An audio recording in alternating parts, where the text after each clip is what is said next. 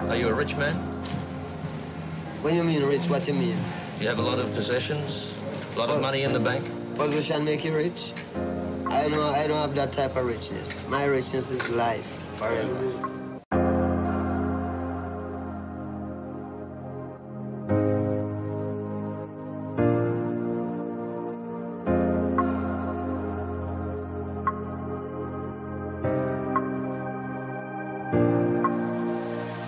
Bye.